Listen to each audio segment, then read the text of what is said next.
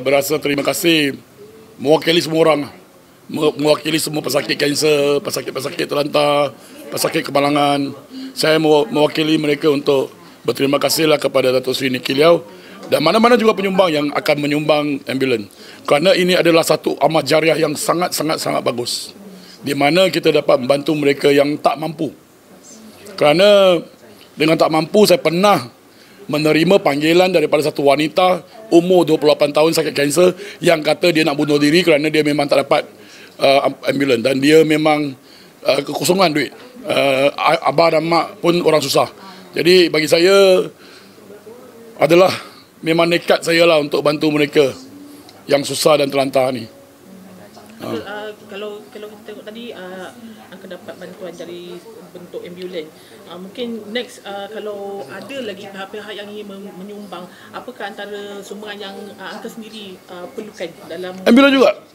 Saya baru baru naik tangga tadi ada terima satu panggilan uh, bahawa nak balik mak nak balik Nazak nak balik semua daripada Serta Kajang baru sekarang ni dan kami akan bergerak ke Kajang uh, Muar selepas ini. So memang uh, ambulan juga because uh, ramai uh, kita, uh, orang perlukan ambulan because uh, dia uh, perlu dalam untuk mengubati mereka uh, kalau mereka sakit ternak dan terlantar. Okay, buat, buat masa ni uh, kita difahamkan uh, community policing berada di uh, coverage mereka di uh, KL dan juga Selangor. Mungkin akan dibuka ke Seratan Negeri. Hasrat saya memang seluruh Semenanjung. Uh, belum masuk Sabah Sarawak, because Sabah Sarawak dia banyak pendalaman. So kita mungkin perlu gunakan ambulans jenis yang lain. Uh, daripada segi biasa, ambulans biasa tak mampu untuk pergi ke kawasan pendalaman. Jadi di sini kita lihat bahawa kita perlu uh, kembangkan kepada kawasan-kawasan kritikal dan kami akan bekerjasama dengan pihak kerajaan untuk mengelah pasti kawasan yang kritikal yang kekurangan ambulan supaya uh, uh, ia tak, tidak di di apa di saja-saja bagilah supaya digunakan dengan uh, baik. Mungkin saranan daripada uh, Uncle sendiri uh, bantuan dari segi komuniti ni bukan bukan terletak kepada komuniti policing sahaja uh, terbuka kepada seluruh rakyat Malaysia. Apa saranan uh, Uncle? Saya percaya bahawa ramai NGO yang di, di luar ber, ber, ber, ber, bekerja hebat dan juga bertunggus lumus untuk membantu. Ini adalah semangat Malaysia.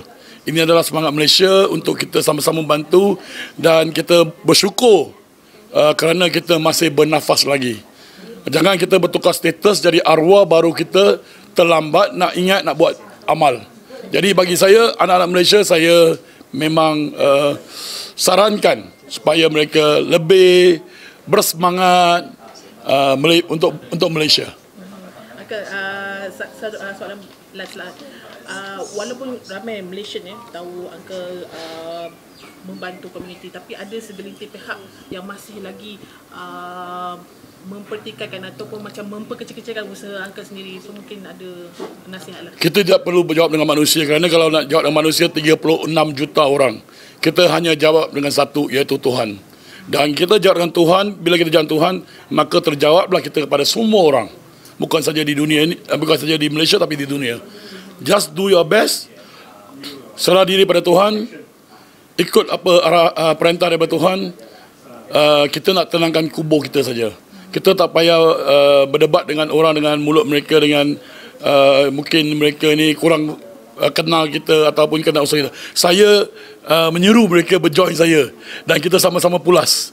Pulun pulun sama-sama pulun untuk menjayakan Malaysia. Uh, untuk kutuk-kutuk tu saya memaafkan mereka dan saya uh, tidak mengambil kira benda macam tu. so macam mana kalau uh, rakyat yang nak sama-sama uh, Join kami, join, mari jumpa saya dan join kami dan join dan buat di kawasan kita memang nak nak apa nak uh, lahirkan anak-anak kentang di seluruh Semenanjung supaya dalam hidup Tuhan dah kata tak kala kau mempermudahkan orang lain akan aku mempermudahkan kamu.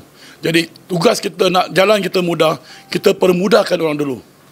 Jangan kita menyu- menyukakan orang lain, maka kita sendiri suka menyu, uh, suka ambil time, kita nak blame Tuhan, tak ada. So let's do the best and God will take care of the rest. Okey, lalu- melalui komen daripada Facebook Uncle kan, uh, ramai yang tanya, Uncle tak nak tak nak jual ke t-shirt Uncle Kentang, uh, t-shirt Kentang? InsyaAllah kalau saya akan buat, kalau ada orang nak, uh, kita akan tubuhkan uh, uh, t-shirt Angin Kentang dan t-shirt uh, Football Academy Kentang baru ditubuhkan.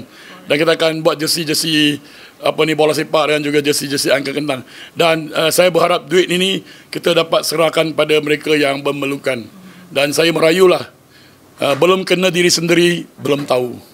Bila kena diri sendiri mak bapak sakit terlantar barulah nak pening kepala.